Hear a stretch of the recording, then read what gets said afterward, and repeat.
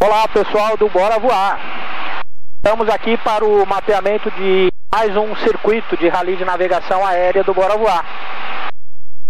Dessa vez vai ser na Fazenda Royal no dia 15 de junho.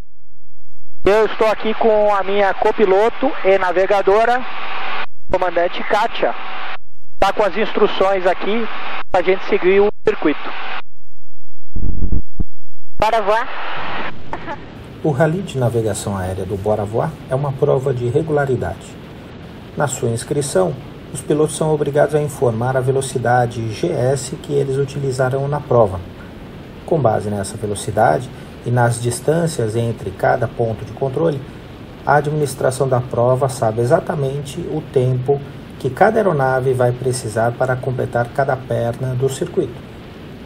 A cada minuto de diferença, para mais ou para menos do tempo ideal, o competidor perde um ponto.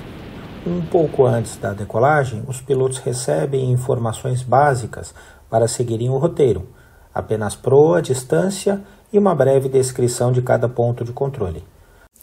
Ao localizar cada ponto de controle, os competidores precisarão identificá-los dentre várias fotografias numeradas, para comprovar que localizaram o ponto correto e fotografá-lo para comprovação da hora do sobrevoo. Ao final tem também o pouso de precisão, que também conta pontos para a classificação final.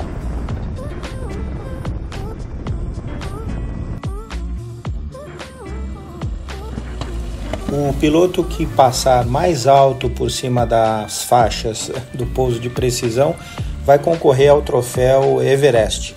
E o piloto que pousar mais cedo, antes das faixas, vai concorrer ao troféu Pescador, porque caiu no mar, pousou antes do porta-aviões, né?